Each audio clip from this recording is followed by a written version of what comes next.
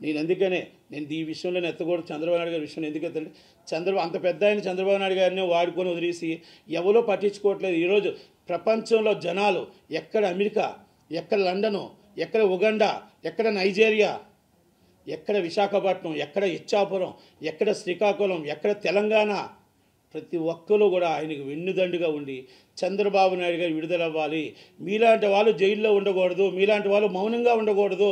ప్రతిపక్షంలో మీరు ఉండాలి మీరు ప్రజల పక్షాన ఉండాలి అని అందరూ కలిపి రోడ్డు మీదకి వచ్చారే జనాలు. ఇది ఒక్క ఫ్రైడే లోపల కంపల్సరీ ఇంకా చాలా పెద్ద ఉద్యమాలు అవుతాయి. ఎందుకంటే ఆయన చేసిన ప్రతి ఒక్క పని గుర్తుపెట్టుకుంటున్నారు జనాలు గుర్తుంచుకుంటున్నారు గుర్తు తెచ్చుకుంటున్నారు.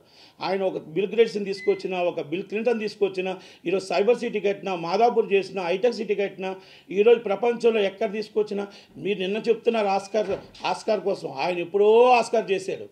అలాంటి వ్యక్తి జైల్లో ఉండడం అనేది మన ప్రజలకు ప్రమాదకరం. అందుకని మళ్ళా మళ్ళా రిక్వెస్ట్ చేస్తున్నా. ఇంతమంది ప్రజలందరూ రోడ్డు మీదకి వస్తుంటే సినిమా ఫీల్డ్ నుంచి ఒక్కరు కూడా రాకపోవడం అనేది సిగ్గు చేయటు సిగ్గు చేయటు సిగ్గు చేయటు తల దించుకోవాల్సి వస్తుంది. ఈరోజు నేను ఒకటే చెప్తాను మీ అందరికీ. ఇప్పటికైనా ఆత్మాభిమానం ఉంటే ఆయనకు వచ్చి ఒక్క సంఘీభావం గల కుటుంబానికి తెలియపరచండి తెలియపరచలేకపోతే ఇక దానికి అంతకన్నా ఇంకా ఏది లేదు. యూజ్ త్రూ అని మాత్రం మిమ్మల్ని ఒప్పుకోక తప్పదు. Thank you very much thank you